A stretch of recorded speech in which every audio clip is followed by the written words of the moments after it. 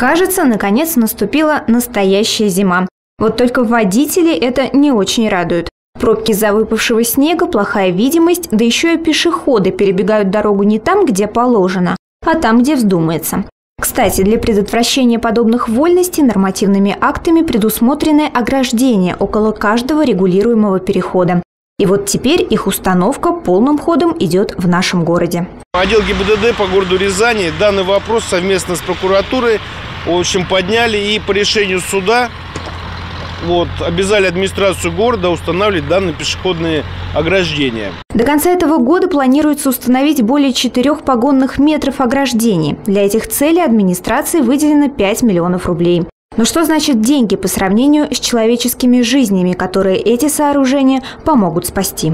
За 11 месяцев этого года на территории областного центра произошло 314 наездов на пешеходов. В них 19 человек погибло и 309 получили телесные повреждения.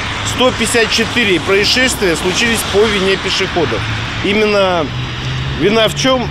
В том, что они переходили проезжую часть в неустановленном месте в том числе и рядом с пешеходными переходами. Необходимость установления подобных ограждений понимают и приветствуют как пешеходы, так и автолюбители. Для того, чтобы не шлепали, где попало. Ага. А как вы считаете, как бы нужно действительно Нужно, полезно? нужно. У нас такие мы бабки-то. Конечно, нужно и полезно. Для этого есть светофоры и есть переходы. Люди иногда 10 метров не могут пройти, чтобы пройти по переходу. Переходов и так достаточно много, поэтому все правильно. Я считаю, даже очень будет удобно для пешеходов. Хотя бы по дорогам бегать не будут.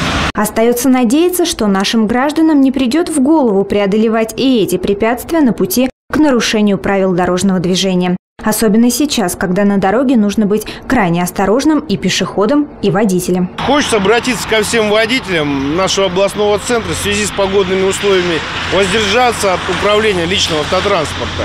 Вот если есть необходимость, то соблюдать несложные правила, которые помогут безопасно управлять машиной зимой. Это уменьшенный скоростной режим, соблюдение дистанции до впереди идущего автомобиля, боковой дистанции, ну и, естественно, повышенное внимание.